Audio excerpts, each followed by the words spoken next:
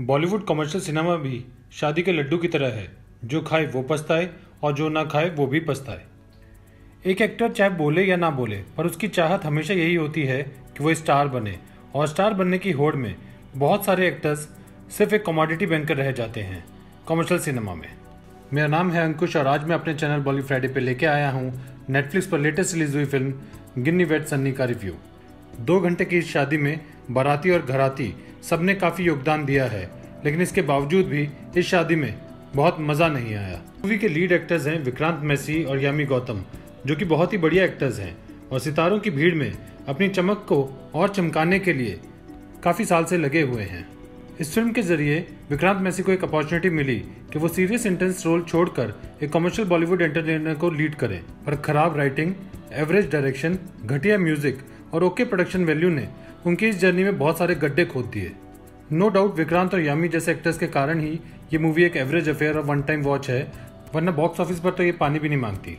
Vikrant and Yami deserves much better than such kind of stereotype movies इस movie को देखते time लगता है कि राइटर्स को या तो बुखार चढ़ गया था या किसी शादी में जाने की जल्दी थी, इसलिए स्क्रिप्ट इतनी ढीली लिखी कि आदमी की पतलू नहीं उतर जाए। कहानी में है गिन्नी जो कि अपने एक्स बॉयफ्रेंड के साथ रिलेशनशिप स्टेटस को लेकर कंफ्यूज है, और दूसरी तरफ़ है सनी जो कि लव अफेयर में फेल होने के बावजूद भी पूरी शिद्दत के साथ अपने शादी के सपने को पूरा करने में लगा हुआ है। एक्चुअली उसका सपना था रेस्टोरेंट खोलना, लेकिन उसका सपना टिका हुआ है।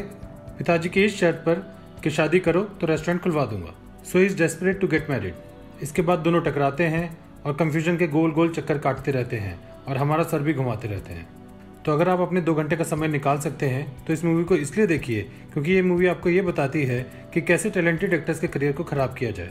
इस मूवी के म्यूज़िक में इतनी खामियाँ हैं कि इसको देख के आपको लगेगा कि आप मूवी देख रहे हैं या रिमिक्स सॉन्ग्स का रियलिटी शो इस मूवी की स्क्रिप्ट तो घिसी पिटी है ही, लेकिन इसमें एक और स्टीरियोटाइप है, और वो है कि हमेशा दिल्ली को सिर्फ़ पंजाबियों का शहर ही क्यों दिखाया जाता है, और उसी की तरह प्रमोट किया जाता है कि हर किसी पेरेंट के हाथ में शराब का गिलास होता है और लाउड बोलने वाली आंटी।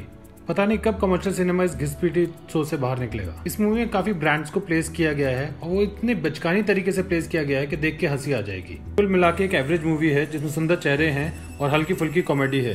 तो अगर टाइम पास बिल्कुल ना हो रहा हो तो देख लीजिए। मैं दूँगा इस मूवी को four out of ten stars अगर आपको मेरा रिव्यू पसंद आया हो तो मेरे वीडियो को लाइक कीजिए शेयर कीजिए और मेरे चैनल को सब्सक्राइब ज़रूर कीजिए। और अगर आप इस शादी को अटेंड करते हैं मतलब ये मूवी देखते हैं तो कमेंट सेक्शन में ज़रूर बताइएगा कि आपको शादी में क्या अच्छा लगा और क्या नहीं। मैं मिलता हूँ नेक्स्ट वीडियो में, तब तक के लिए बाय बाय